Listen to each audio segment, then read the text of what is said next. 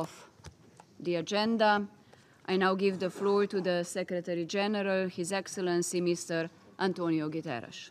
Thank you very much, Madam President. I start by apologizing uh, the fact that I will have to leave very early because this was squeezed into uh, what was already uh, an impossible agenda. Madam President, Excellencies, hell is breaking loose in Lebanon. As I told the General Assembly yesterday, we should all be alarmed by the escalation. Lebanon is at the brink. Of course, the Blue Line has seen tensions for years. But since October, exchange of fire have expanded in scope, depth, and intensity. Hezbollah and other non state armed groups in Lebanon and the Israel Defense Forces have exchanged fire on an almost daily basis, with Hezbollah indicating that they would require a ceasefire in Gaza to cease hostilities. The exchanges of fire have been in repeated violation of Security Council Resolution 1701, and the daily use of weapons by non state armed groups is in violation of Security Council Resolutions 1559 and 1701. Lebanese sovereignty must be respected, and the Lebanese state must have full control of weapons throughout Lebanese territory, and we support all efforts to strengthen the Lebanese armed forces.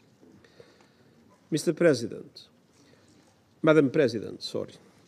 Since October, nearly 200,000 people within Lebanon and over 60,000 from northern Israel have fled their homes. Many lives have been lost. All these must stop. The communities of northern Israel and southern Lebanon must be able to return to their homes and live in safety and security without fear. Madam President, since the Emergency Council session on Lebanon on 20 September, in the wake of the remote detonation of pagers and handheld radios used by Hezbollah across Lebanon, hostilities have escalated dramatically. The past weekend saw heavy exchanges of fire endangering civilians on both sides of the Blue Line, with Israel's Defense Force striking approximately 400 Hezbollah targets in Lebanon while Hezbollah launched hundreds of missiles, rockets, and drones into northern Israel. Monday was the bloodiest day in Lebanon in a generation. The Israel Defense Forces said that it struck some 1,600 Hezbollah targets. Many civilians were killed, and many, many more were injured. Since then, Israel continued its deadly strikes across Lebanon, including in the southern suburbs of Beirut. Lebanon Ministry of Public Health reported that 569 people were killed on Monday and Tuesday, including 50 children and 94 women. Over 1,800 people were injured. Lebanese authorities report a total of 1,247 deaths since October. Two colleagues from UNHCR were among those killed by yesterday's bombing.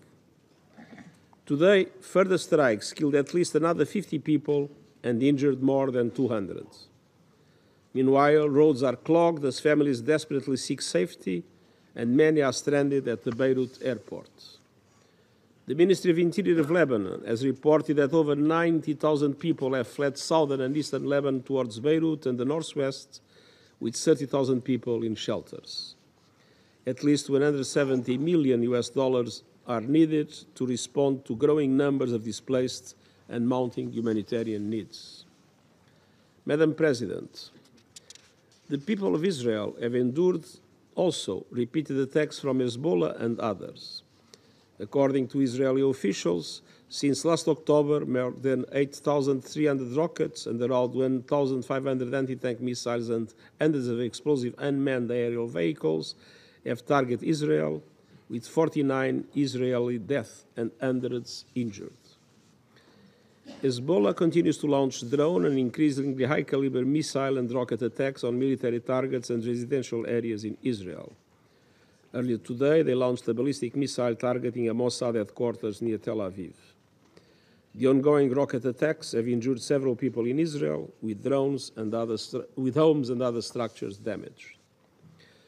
Monsieur le Président, les efforts diplomatiques se sont intensifiés afin de parvenir à un cessez-le-feu temporaire permettant l'acheminement de l'aide humanitaire et ouvrant la voie au rétablissement d'une paix plus durable. Nous soutenons pleinement ces efforts.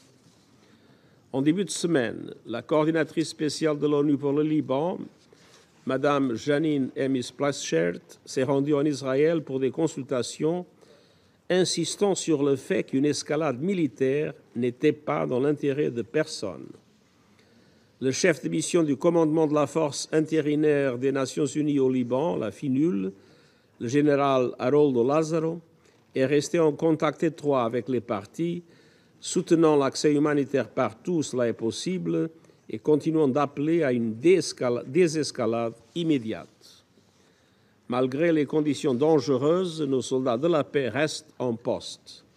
Afin de réduire les risques pour le personnel de la mission, la plupart du personnel civil a été temporairement transféré au nord du fleuve Litanie.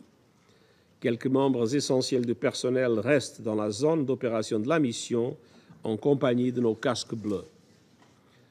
Je tiens à réaffirmer notre profonde reconnaissance envers nos agents de la paix, civils et militaires, qui servent le long de la ligne bleue, ainsi qu'à l'ensemble de tous les pays contributeurs de troupes. Madam President, I implore the Council to work its lockstep to help put out this fire.